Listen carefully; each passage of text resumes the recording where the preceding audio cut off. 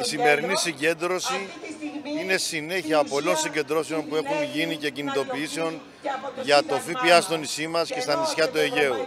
Σήμερα αποφασίστηκε να γίνει αυτή η πανχιακή κινητοποίηση γιατί γίνεται το Περιφερειακό Συνέδριο στη Μυτιλίνη και θέλουμε να δώσουμε μια